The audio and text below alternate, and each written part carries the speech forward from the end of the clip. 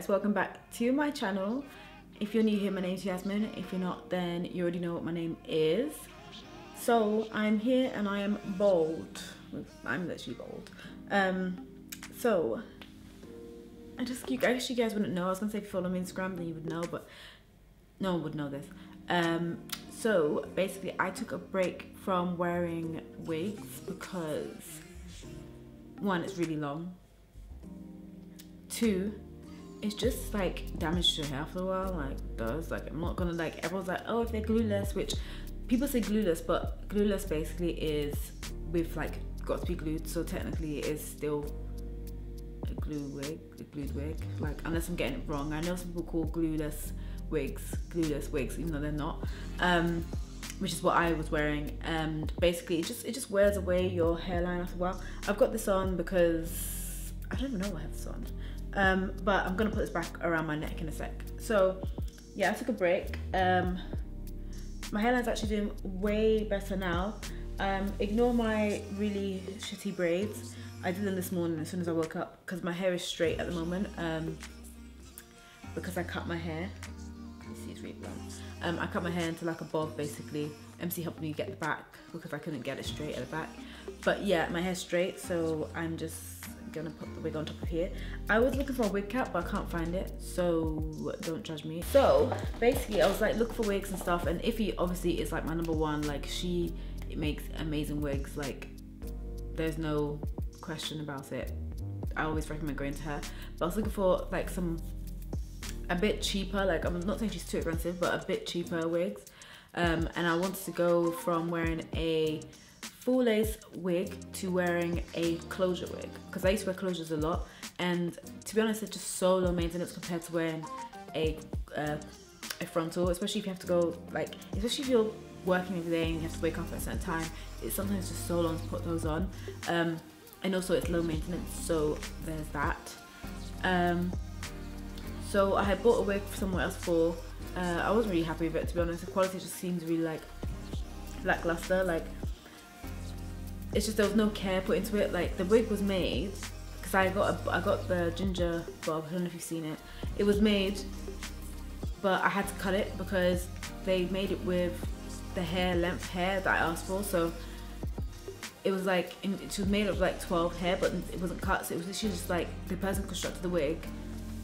Didn't even cut it, didn't style it, didn't even dye or bleach the knots and just sent it to me. So the, the lace was really like thick and rough and it was just not like, it was just not what I wanted, but and I paid that money for it, so I was really disappointed as well. So this time I've decided to go with Melissa Jade, um, MJ MJA hair. I've tried buy hair from them before and I just never follow through because I'm just really skeptical because sometimes it's a lot of money. Um, but I bought this one in the January sale. So it came in a bag like this. Um, took about two weeks for it to be sent um, check your junk because I didn't get an email. I got an email yesterday, the day before, saying that it had been sent, but it was sent to my junk, so I didn't know I even got that. And it comes with the MJA hair bag, wig in it. And it come, it literally comes like this, and it is got netting on it, so you know, just protect the hair and stuff. I basically got a 6x6 um, closure, so it's a bit like a frontal, but it's still a closure in a sense, but you just don't have the sideburns bit, which I'm happy about because I get to save my the rest of my edges, you know. Um, this is a wig. This is what it's. Cause she that she dyes the hair for you as well. Cause she asked for you want light brown or do you want medium brown, something like that. Um, and literally, there is no comb at the back, which I'm a bit like. Like I really like combs at the back of mine but sometimes they are a bit annoying. And this is the, I'm not really good at this whole wig thingy. It's so weird putting on a closure because I'm used to just like putting my wig on and then hooking it by my ears. Ugh, the hair's so silky, so like everything's just slipping out of my hand. It is very tight. Obviously I gave measurements and stuff. I mean, that is not entirely a bad thing, it being tight. Um, but like look at that. That pretty much already like is melted in. Obviously you can see this bit and stuff because that's that's not got any of the hair color on it. But like literally that looks like hair. Like i showed mc yesterday and he was like oh my god that looks like it's coming out your head already. I think i'll gel it down and then cut the lace which i don't usually do. I usually do the other way around. But i thought maybe today i'll be a bit different. So i'm using focuses i'm using the olive oil grip hold um, that everyone's basically onto at the moment and i have a designated cloth for uh, my wigs yeah, it looks disgusting, but this is even after I've washed it because it's got a lot of like glue and rub and alcohol on it. So uh, yeah, it's a bit messy. I have my hairline right comes slightly forward, um, and it's really annoying when it comes to lace like um, frontals. So if you're like me and you just want to like have just you know to take a break from the wigs, try like a 6x6 or 7x7. 7x7, I was literally like, oh, let me just get it. But I didn't want to pay extra £30. Usually I use like a end of a comb or something. Now I'm using the Super Hold Spray from ORS or I used, I used, to, I used to call it olive oil and like, I don't know what it's actually called. And I usually, what I used to spray a bit and then always on cold.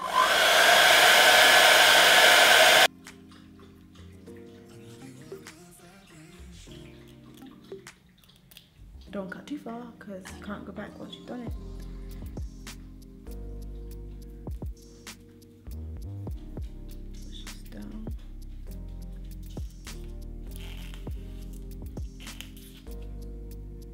To be honest, I'm a bit anxious about having closure especially one this big, just because I'm having a bit of like trust issues, not trust issues, but I'm having a bit of like anxiety about um, the lace because I love wigs and stuff, but the lace always like is dead, and especially I'm the kind of person that takes my wigs off every day, and that just makes it worse. So I'm a bit anxious about that, but.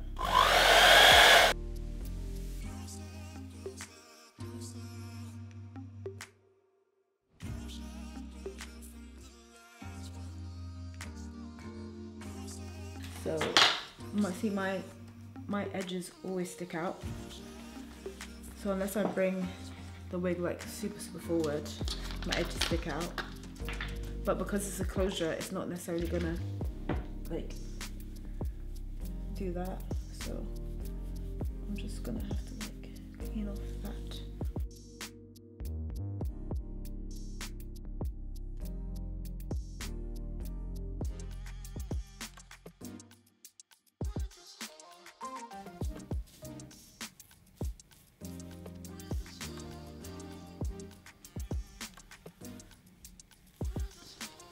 so my camera cut off, but um, I've got some of my bronzer and this Real Techniques brush that basically is done for because the things started to come out. Like this, yeah. And I'm basically putting that on there.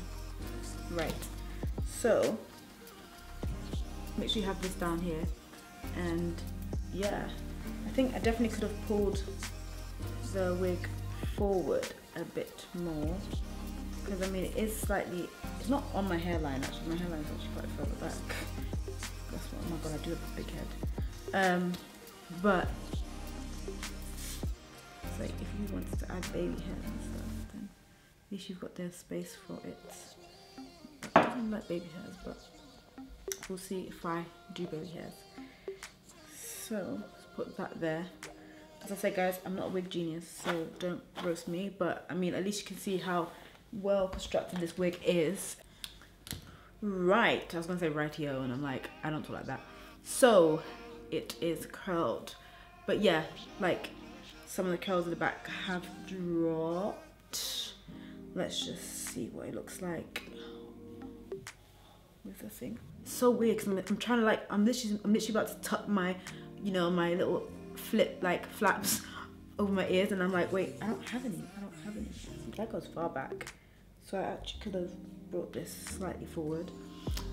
That I will do on another day. I didn't realize how far back it goes, so I'm just gonna like cover the back bit just there. I hope you guys at least enjoyed watching me attempt to put a wig on. Um, like, it's not even a big, like major wig, but it's still like, you know, something new for me. Overall, I'm actually really impressed with this wig. Um, in future, I'll bring this a bit more forward. So I pulled it forward now. It looks much better, especially on the side. Don't look like I'm bold and don't look like I'm some sort of bold, bold. I'm trying to say a bold, like a bold egg, but I'm coming up with boiled egg. So that's a little boiled egg. You know what? You know what I'm trying to say. But yeah, it's much better now. Looks like more like a frontal.